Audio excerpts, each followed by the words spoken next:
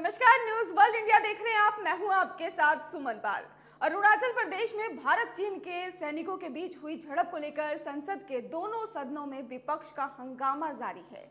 और इसी बीच रक्षा मंत्री राजनाथ सिंह ने भी लोकसभा में इस मुद्दे पर जवाब दिया। उन्होंने बताया कि भारतीय सेना ने चीन का बहादुरी से जवाब दिया। भारतीय सैनिकों ने चीनी सैनिकों को उनकी पोस्ट पर वापस भेजा। इस दौरान भारतीय सेना के किसी भी जवान का ना तो निधन हुआ और ना ही कोई गंभीर जख्मी है। रक्षा मंत्री राजनाथ सिंह ने कहा कि इस सदन को अरुणाचल में त्वांग में हुई घटना के बारे में अवगत कराना चाहता हूँ। 9 दिसंबर 2022 को पीएलए जवान ने यथास्थिति को बदलने की कोशिश की। हमारी सेना ने दृढ़ता से इसका सामना किया और इस दौरान ही हाथापाई भी हुई। भारतीय सेना ने चीनी सैनिकों को अतिक्रमण करने से रोका और उन्हें उनकी पोस्ट में वापस भेज दिया और इस दौरान ही हमारी सेना ने किसी जवान की ना तो मौत हुई है और ना ही कोई जख्मी घायल है और इसके साथ ही इतना ही नहीं, भारतीय सेना के कमांडर ने चीनी पक्ष के साथ इस मुद्दे पर फ्लैग मीटिंग की और चीनी पक्ष को ऐसी कार्रवाई न करने के लिए कहा गया है। इससे पहले कांग्रेस, आरजेडी, तृणमूल कांग्रेस आप समेत तमाम विपक्षी पार्टियों ने राज्यसभा और लोकसभा में इस मुद्दे पर तुरंत चर्चा की मांग को लेकर नोटिस जारी, नोटिस भी दिया और उधर पीएम ने भी कैबिनेट बैठक बुलाई है।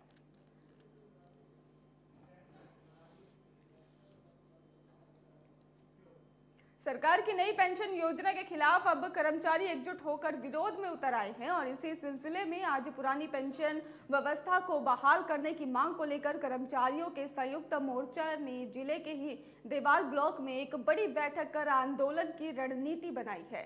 बैठक में कर्मचारियों का कहना था कि सरकार ने नई पेंशन योजना को लागू किया है, जो 60 साल की सेवा देने के बाद कर्मचारी अपने को ठगा सा महसूस कर रहे हैं। और कहना है कि अगर सरकार को नई पेंशन योजना इतनी ही अच्छी लगती है तो विधायकों, सांसदों, पार्षदों आदि निकायों के लाभार्थियों पर भी इसे लागू करना चाहिए। बैठक में एक स्वर में ही सरकार की नई पेंशन योजना का विरोध करने के लिए 18 दिसंबर को ज़िले के केंद्र कर्णप्रयाग में ही बड़ा आंदोलन करने का निर्णय लिया गया और जानकारी दी गई कि इस दिन आंदोलन में प्रवेश, जो प्रदेश भर से पुरानी पेंशन बहाली संयुक्त कर्मचारी मोर्चा के पदाधिकारियों और सदस्य भारी संख्या में जुटेंगे।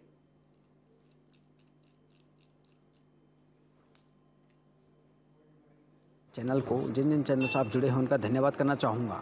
आज हमारे साथ राजकीय प्राथमिक शिक्षक संघ देवाल, माध्यमिक शिक्षक संघ देवाल, जूनियर शिक्षक संघ देवाल के साथ हमारे साथ वन विभाग के लोग, पीडब्ल्यूडी के लोग हैं, ब्लॉक के लोग हैं, सभी अध्यक्ष वगैरह सब हमसे जुड़े। हमने सबको अवगत कराया कि भाई पुरानी पेंशन बहुत ज़रूरी है। जैसे हमारा झारखंड में, छत्तीसगढ़ में, राजस्थान वगैरह में चार पाँच राज्यों में पुरानी पेंशन बहाल लागू हो गई है। ऐसे हिमाचल में भी होने वाली है। अभी माननीय मुख्यमंत्री जी हिमाचल के जो नवनियुक्त निर्वाचित हुए हैं, उनके बयान आए थे कि पहली कैबिनेट में, जिस दिन हम शपथ ग्रहण लेंगे, पहली कैबिनेट में हम पुरानी पेंशन बहाल को लागू कर देंगे। पूरे उत्तराखंड नहीं, पूरे ही देश में अरुणाचल से लेकर गुजरात और कश्मीर से लेकर कन्याकुमारी तक सब लोग, सरकारी कर्मचारियों की एक ही मांग है, हमारी पुरानी पेंशन हमें लागू मिल जाए, बहाल हो जाए। 2005 में जब पुरानी पेंशन बहाल हुई थी जब 2005 में पुरानी पेंशन बहाल हुई थी, वो सिर्फ़ एनजीओ, वर्ल्ड बैंक वगैरह के रिपोर्ट के तहत उस टाइम पे जो बीजेपी की सरकार, अटल बिहारी वाजपेयी मान्य अटल बिहारी वाजपेयी जो प्रधानमंत्री देश के थे, उनके तो कहने पे उसका लागू हो गई। वर्तमान समय में हम ओपीएस की मांग करते हैं और एनपीएस अगर इतनी ही अच्छी है तो सांसद हो गया, विधायक हो गए, ये क्यों नहीं अपने को बोलते कि हमें एनपीएस में लाओ?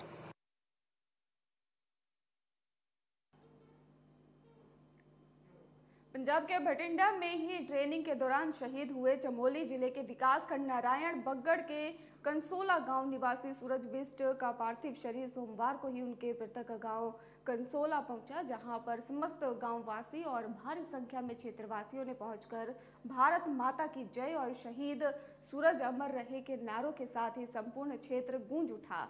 आपको बता दें कि तत्पश्चात उनके मृतक घाट पर सैनिक सम्मान के साथ अंतिम विदाई दी गई और इस दौरान मेजर सुरेश ने शहीद सूरज सिंह के पिता को तिरंगा झंडा सौंपा। विगत शुक्रवार को ही कंसोला गाँव के 20 गढ़वाल राइफल में तैनात सूरज बिस्ट की पंजाब के भटिंडा में घातक कमांडो ट्रेनिंग के दौरान आकस्मिक मौत को हो गई थी और जिससे संपूर्ण गाँव और क्षेत्र में शोक की लहर छा गई। आज आपको बता दें कि इसको लेकर सूरज बिष्ट का पार्थिव शरीर उनके गाँव कसोला पहुँचा और वहाँ पर उपस्थित संपूर्ण ग्राम वासियों जनप्रतिनिधियों और क्षेत्र के लोगों ने सूरज बिष्ट अमर रहे और भारत माता के जय के नारे के साथ ही उनके पार्थिव शरीर को गाड़ी से बाहर निकालकर आर्मी द्वारा अंतिम दर्शन के लिए उनके घर ले गए, जहाँ पर उनकी माता श्रीमती पुष्पा देवी ने अपने पुत्र के शव को देखकर बेहोश हो गई, जिन्हें किसी तरह परिजनों द्वारा होश में लाया गया। इस अवसर पर ही सभी की आँखें नम हो गई। तत्पश्चात उनके पार्थिव शरीर को प्रत्यक घाट मिंगाधेरा में मौजूद पिंडर नदी तट पर ही लाया गया, जहाँ पर 20 गढ़वाल ने ही वहाँ पर मेजर सुरेश की अगुवाई में गढ़वाल स्काउट जोशी मठ के पंद्रह जवानों द्वारा सैनिक सम्मान के साथ रीत चढ़ाकर ही अंतिम सलामी के साथ विदाई दी गई। इस मौके पर भूतपूर्व सैनिक और जनप्रतिनिधियों ने भी पुष्प गुच्छ चढ़ाकर ही अंतिम सलामी दी और वही मुख अग्नि उनके बड़े भाई पंकज द्वारा दी गई। इस अवसर पर ब्लॉक प्रमुख सहित भारी संख्या में कई गणमान्य व्यक्ति उपस्थित रहे।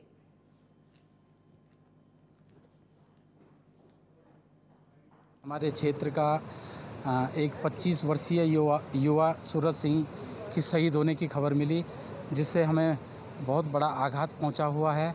और मैं शोक संतप्त परिवार को संवेदना व्यक्त करता हूँ और ईश्वर से उस पुण्य आत्मा की उस पुण्य आत्मा के, ईश्वर उसको अपने श्री चरणों में स्थान दे, ये प्रार्थना करता हूँ। और 25 वर्षीय युवा का शहीद होना ये हमारे लिए बहुत बड़े दुख की बात है। लेकिन एक तरफ़ से ये बड़े गौरव का विषय भी है हमारे क्षेत्र के लिए, क्योंकि सेना में अपने अपने प्राणों की आहुति देना, बलिदान देना, ये गौरव की बात भी होती है।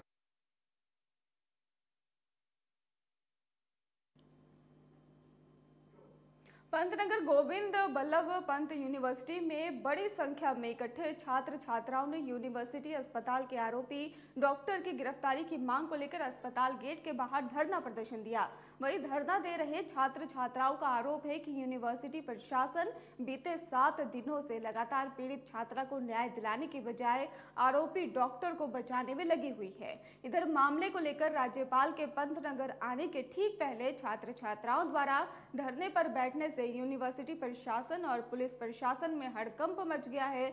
वहीं धरने पर बैठे छात्र छात्राओं को समझाने, बुझाने की यूनिवर्सिटी प्रशासन, सुरक्षा विभाग और पुलिस प्रशासन की ओर से लगातार कोशिश की जा रही है। वहीं एसएसपी मंजूनाथ टीसी ने भरपूर प्रयास किया है, लेकिन आक्रोशित छात्र आरोपी डॉक्टर की गिरफ्तारी किए बिना धरना स्थल से नहीं उठने की बात पर अड़े हुए हैं।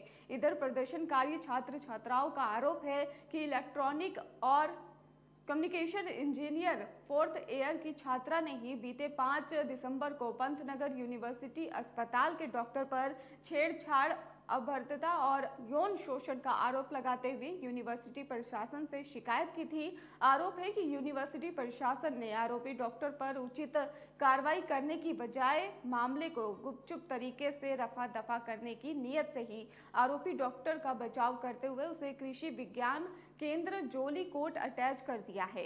वहीं पीड़ित छात्रा की बार बार आरोपी को दंडित किए जाने की मांग के बावजूद यूनिवर्सिटी प्रशासन लगातार मामले को रफा दफ़ा करने में लगा हुआ था, जिससे आक्रोशित छात्र छात्राओं ने आज सुबह नौ बजे यूनिवर्सिटी अस्पताल गेट के बाहर बड़ी संख्या में इकट्ठे होकर अनिश्चितकालीन धरना प्रदर्शन शुरू कर दिया। प्रदर्शनकारी छात्र छात्राओं को शांत करने के लिए यूनिवर्सिटी प्रशासन और पुलिस प्रशासन ने भरपूर प्रयास किए, परंतु आक्रोशित प्रदर्शनकारी आरोपी डॉक्टर की गिरफ्तारी की मांग पर अड़े हुए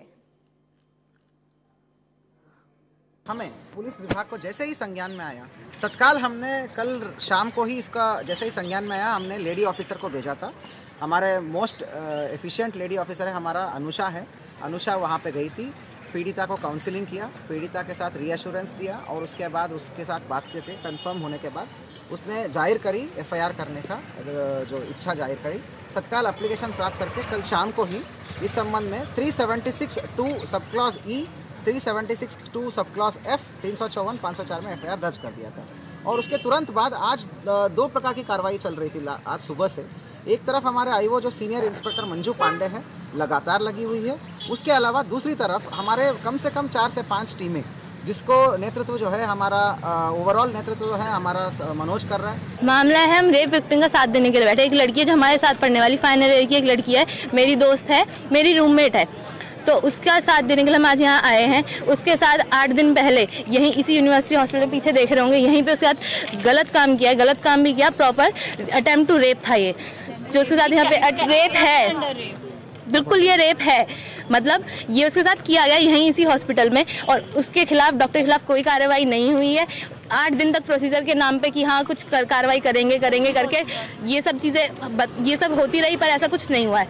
उस उसका साथ लड़की का साथ देंगे हम लोग यहाँ बैठे अपना पेपर छोड़ के। हम सबके पेपर हैं सब अपना अपना पेपर छोड़ के यहाँ बैठे हुए हैं कि बस हमें जस्टिस चाहिए।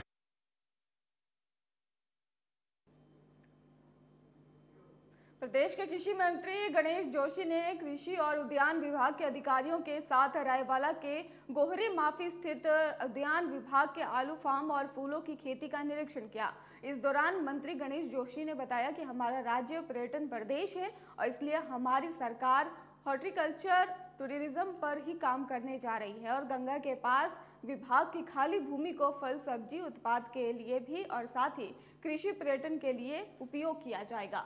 इसके लिए संबंधित विभागीय अधिकारियों को योजना बनाकर भेजने को कहा गया है। बता दें आपको कि इसको लेकर भी तालमेल कर पर्यटन विकास कर कार्य करेंगे और निरीक्षण के दौरान ही मंत्री जोशी ने अधिकारियों से कहा कि ग्रामीण इलाकों में ग्राम प्रधानों को स्थानीय भूगोलिक स्थितियों का ज्ञान होता है, इसलिए उनके साथ मिलकर योजना बनाए।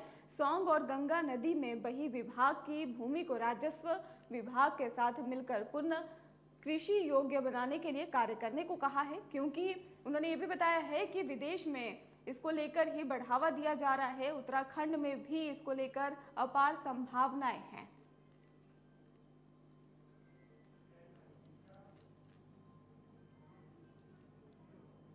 राज्यपाल और कुलाधिपति गोविंद बल्लभ पंत कृषि और प्रौद्योगिकी विश्वविद्यालय लेफ्टिनेंट जनरल गुरमीत सिंह ने ही एनएक्सी भवन पंतनगर पहुंचकर यूनिवर्सिटी के सभी डीन्स में ही यूनिवर्सिटी से संचालित कार्य और गतिविधियों के संबंध में विस्तार से जानकारी ली और महत्वपूर्ण दिशा निर्देश दिए। राज्यपाल ने सभी डीन्स को ही निर्देशित करते हुए कहा कि विश्वविद्यालय के शोध, अनुसंधान और ज्ञान का लाभ सभी किसानों को मिले। अंतिम छोर पर बैठे किसान विश्वविद्यालय की नई तकनीक शोध और अनुसंधान से लाभान्वित हो इस पर विशेष ध्यान दिया जाए।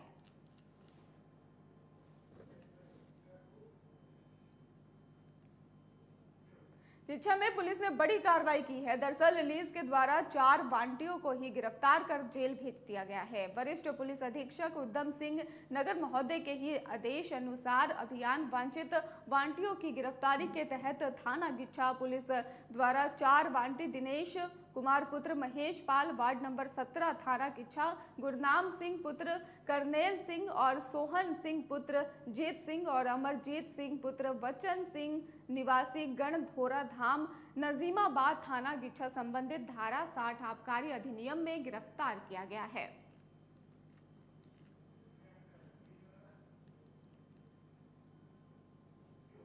ऋषिकेश बद्रीनाथ राष्ट्रीय राजमार्ग अट्ठावन पर देवप्रयाग तोता घाटी के समीप एक कार अनियंत्रित होकर सड़क से ही 300 फीट नीचे जाकर गिर पड़ी। आपको बता दें कि हादसे की सूचना मिलने पर ही मौके पर पहुँची देवप्रयाग पुलिस और एसडीआरएफ के जवानों ने रेस्क्यू अभियान चलाया। वहीं हादसे के दौरान चालक गाड़ी से छिटक कर ही खाई में गिर गया, जिस वजह से चालक की मौत हो गई। हादसे के बाद मौके पर मौजूद लोग भी हैरान रहे। दरअसल गाड़ी को सड़क से नीचे अटकी रही, लेकिन चालक गाड़ी की विंडो स्क्रीन तोड़ खाई में ही गिर गया और मृतक देहरादून निवासी बताया जा रहा है। घटना सुबह करीब सात बजे की बताई जा रही है।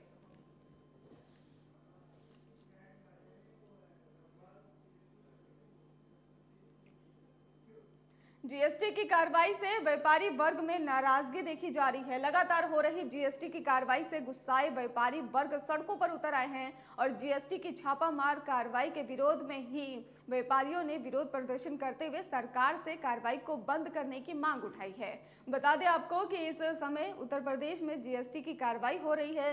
जीएसटी की इस कार्रवाई से व्यापारी वर्ग में डर का माहौल पैदा हो गया है। जीएसटी का नाम सुनकर अब व्यापारी वर्ग अपनी प्रतिष्ठान बंद करने को मजबूर हैं और वहीं सोमवार को ही संभल सदर में जीएसटी की कार्रवाई के खिलाफ व्यापारी वर्ग सड़क पर उतर आया। उत्तर प्रदेश उद्योग व्यापार प्रतिनिधि मंडल के अध्यक्ष नरेंद्र अग्रवाल के नेतृत्व में ही व्यापारियों ने सदर एसडीएम कार्यालय पर विरोध प्रदर्शन किया और जीएसटी की कार्रवाई के खिलाफ व्यापारियों ने जमकर नारेबाजी की। व्यापारियों ने सरकार को चेतावनी भी दी है। अगर जीएसटी विभाग के अधिकारियों द्वारा छापेमारी बंद नहीं की गई तो देशव्यापी आंदोलन किया जाएगा।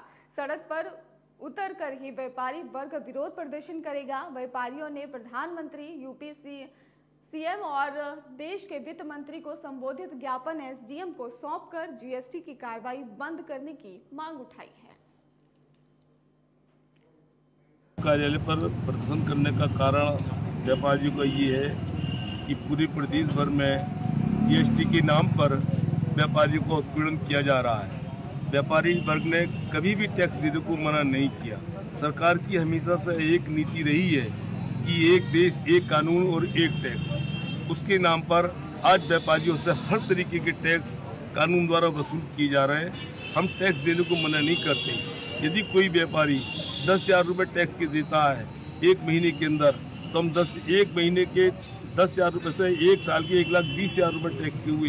हम एक लाख तीस हज़ार रुपये साल के टैक्स देने को तैयार हैं, लेकिन हमारा उत्पीड़न न हो। व्यापारी वर्ग ये चाहता है कि हमारे टैक्स को कंपाउंड कर दिया जाए। एक ऐसा सॉफ्टवेयर निर्माण कराया जावे, जिसमें कि हर व्यापारी का बायोडेटा हो और उसमें उसके टैक्स की, house tax, water tax, income tax, आयकर, सब चीज़ों, सारे चीज़ों को टैक्स कर पर एकत्र हुए हैं व्यापारी।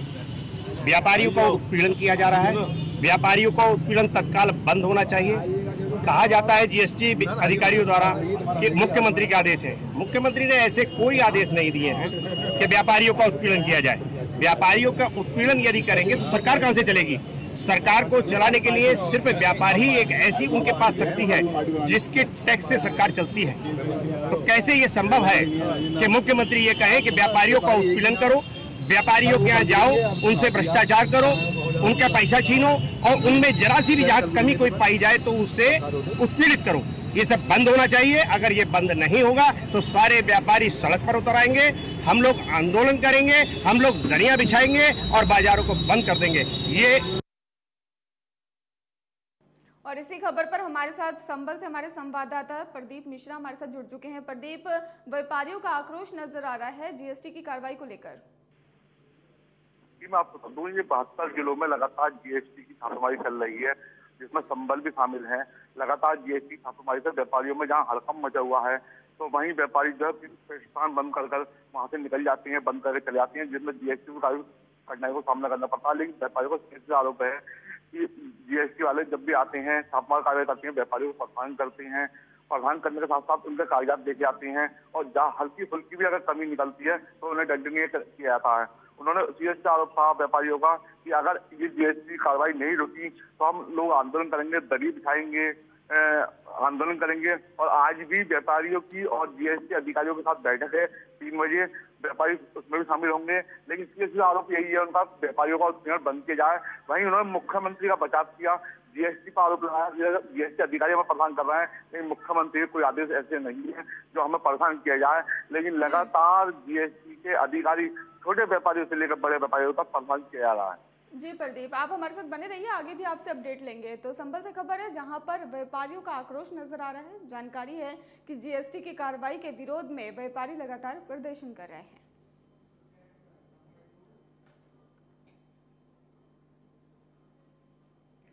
संभल में तेज रफ्तार बाइकों का कहर देखने को मिला है। दरअसल बाइकों की आमने सामने की भिड़ंत में चार लोग घायल हो गए हैं। हादसे के बाद गंभीर हालत में दो लोगों को हायर सेंटर रेफर किया गया है। मौके पर पहुँची पुलिस ने घायलों को सरकारी अस्पताल में भर्ती कराया है। संभल सदर कोतवाली क्षेत्र के चंदोसी मार्ग पर मौजूद ग्राम भवानीपुर के पास का ये पूरा मामला बताया जा रहा है, जहाँ पर तेज रफ्तार बाइकों का साफ़ तौर पर कहर देखने को मिला है। लगातार हमारे साथ प्रदीप मिश्रा बने हुए हैं। प्रदीप, तेज रफ्तार का कहर देखने को मिला और बताया ये भी जा रहा है कि बाइकों का आपस में भिड़ंत भी हुआ है। पूरा मामला क्या है, विस्तार से बताइए। जी, मैं आपको बता दूँ, ये मुराद रोड रोड का मामला है, भवानीपुर का। तेज रफ्तार का कहर जो लगातार जारी है, कोहरा भी पड़ रहा है, लेकिन लोग, जल्दबाजी इतनी है कि लोग तेज या वाहन लेकर चलते हैं, जिसमें आमने सामने भिड़ंत हो जाती है। भिड़ंत में चार लोग घायल होते हैं। जिन्हें पुलिस की सूचना मिलती है, एंबुलेंस, एक साइड को एंबुलेंस की सूचना मिलती है तो वो लोग मौके पर पहुँचते हैं उसके बाद में लेकर आते हैं, अस्पताल भर्ती कराते हैं। लेकिन दो की हालत उसमें नाजुक होती है, जिन्हें हाई सेंटर रेफर किया जाता है। लेकिन लगातार यही है कि तेज रफ्तार का कहर ऐसा है कि लगातार चल रहा है और लगातार लोग घायल हो रहे हैं, उसके बाद भी लोग जो है सुधरने का नाम नहीं ले रहे। जी, प्रदीप बहुत बहुत शुक्रिया आपका हमारे साथ जुड़ने के लिए और अहम जानकारी देने के लिए।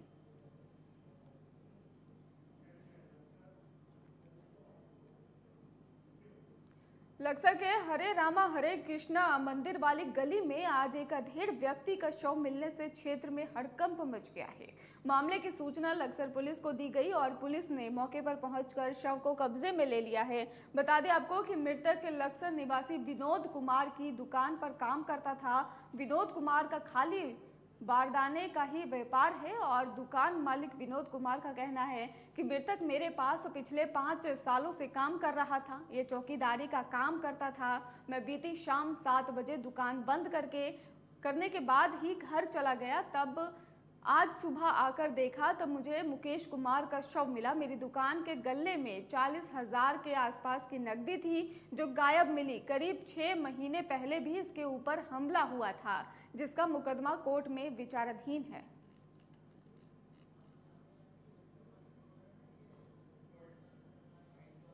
सात बजे यहाँ से चला गया था घर पर। और मेरे दिन, मैं तो सुबह को आता हूँ फिर। घर पे जाने के बाद में ये रात को यहीं पे अकेले लेटता है। ठीक है जी? और अपना यहीं पे खाना खुना खाता है सो जाता है। अब ये मुझे मालूम नहीं है कि क्या हुआ। सुबह मैंने शटर जैसे उठाया मैंने आवाज़ मारी आवाज़ मारने वाली बोला नहीं। तो मैंने शटर उठा के देखा मैंने देखा तो ये बिल्कुल डेड पड़ा हुआ है और गल्ला गुल्ला भी सब पैसे पूसे सब उठे हुए चोरी हुई है। लगभग वो होंगे तीस चालीस पचास हज़ार रुपये अंदाज ही बता रहा हूँ मैं। यहाँ आज लगभग दस बजे के आसपास विनोद जी जब अपनी दुकान पे आए तो उनकी दुकान में एक चौकीदार केस रहता था, जो पिछले पाँच सात वर्षों से उनके यहाँ काम कर रहा है। उसकी मृत्यु हुई हुई थी और शटर खुला हुआ था, अलमारी टूटी हुई है। उन्हें आशंका है कि ज्ञात लोगों के द्वारा, या किसी जानकार व्यक्ति के द्वारा चोरी की घटना को अंजाम दिया गया है और चौकीदार की मृत्यु की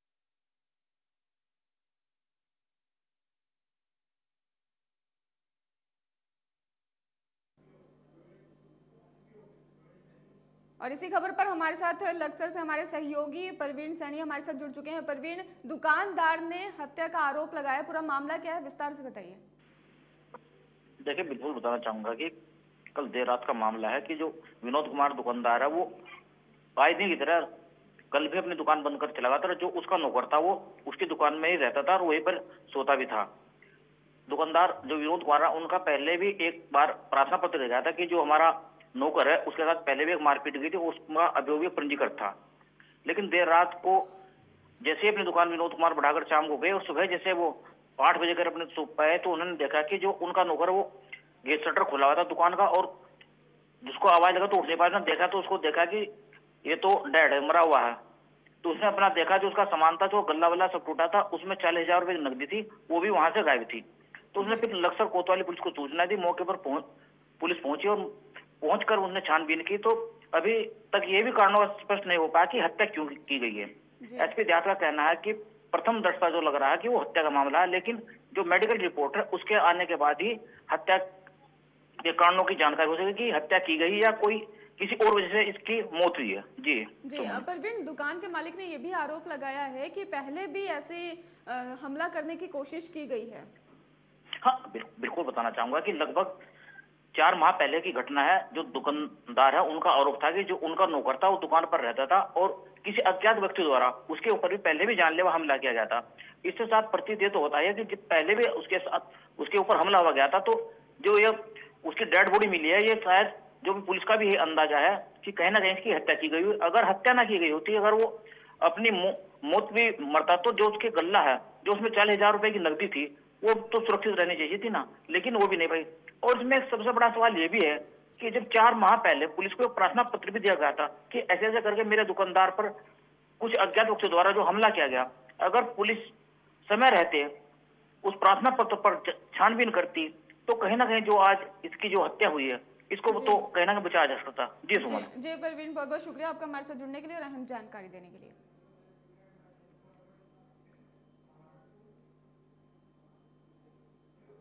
सहारनपुर के रामपुर मनिहारन में एक कार अचानक आग लग गई है, जिसमें स्टेट हाईवे पर चलती कार में अचानक भीषण आग लग गई और सूचना मिलते ही मौके पर पहुँची पुलिस ने मामले की जाँच शुरू कर दी है। फ़िलहाल कार सवार सभी लोग सुरक्षित बताए जा रहे हैं। फायर ब्रिगेड की गाड़ी ने मौके पर पहुंचकर आग पर काबू पा लिया है। गनीमत ये रही कि कोई बड़ा हादसा नहीं हुआ। तो सहारनपुर से खबर है जहाँ पर स्टेट हाईवे पर चलती कार आग का गोला बन गई है। बताया जा रहा है कि चलती कार में भीषण आग लग गई, जिसके बाद दमकल अधिकारी मौके पर पहुँचे और बामुश्किल आग पर काबू पाया गया है। हालाँकि बताया जा रहा है कि भीषण आग के कारण किसी भी व्यक्ति की जान नहीं गई है। गनीमत रही है कि किसी की भी जान इसमें नहीं गई है, ना ही कोई घायल बताया जा रहा है। बता दें आपको कि हाईवे पर ही ये भीषण हादसा हुआ। बता दें आपको कि स्थानीय लोग वहाँ पर पहुँचे, जिसके बाद सूचना जो है दमकल अधिकारी को दी गई और मौके पर पहुँचे दमकल अधिकारियों ने आग पर फ़िलहाल काबू पा लिया है।